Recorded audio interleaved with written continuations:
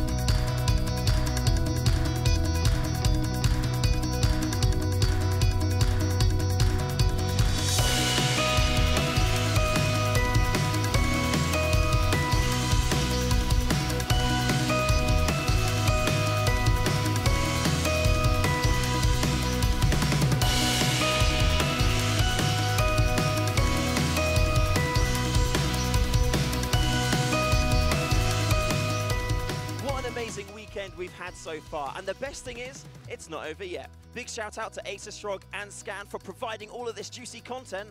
And a little bird told me that early bird prices are available for Epic 29 on the website right now. Go check it out, epiclan.co.uk, and I'll see you at LAN.